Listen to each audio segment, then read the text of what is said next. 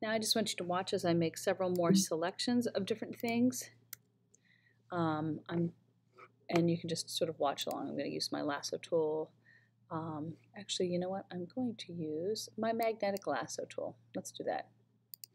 Because I want to select my hair out of this layer. And magnetic lasso tool um, will sort of find the edge between two things.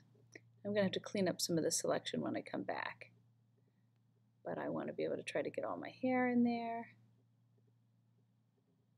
So this just sort of does a nice job of, like I said, finding the edge along something. You can see up in my hair it's having a kind of a difficult time. However, you'll see what happens when I'm done.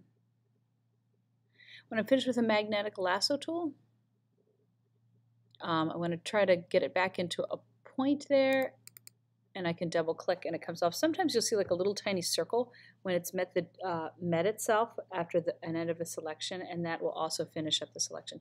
So my hair, um, I'm going to come in here and see whether I got everything I wanted and I'm going to grab my lasso tool, hit the shift key and make sure that I've got everything.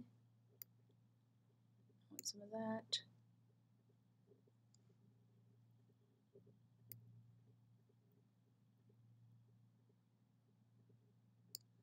Oops, I don't want that.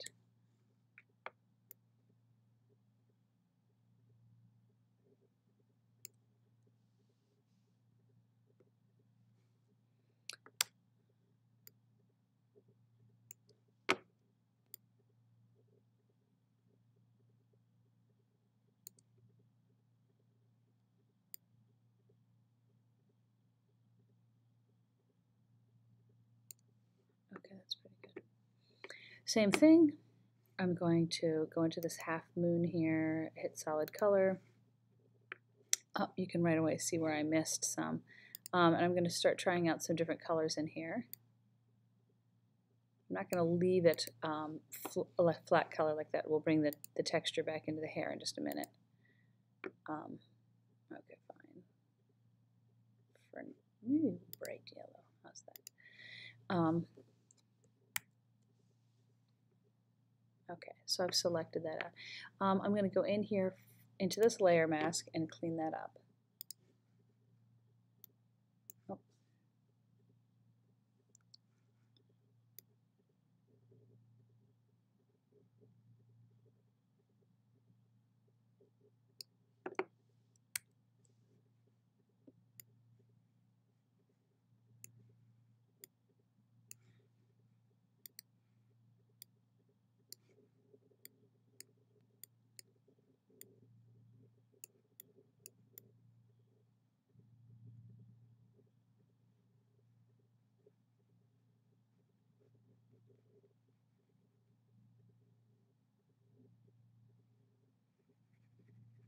How far does this go down? Uh, don't do that.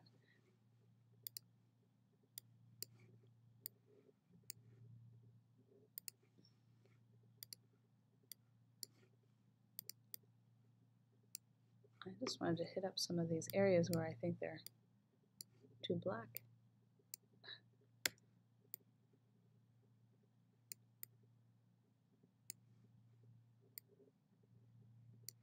Okay.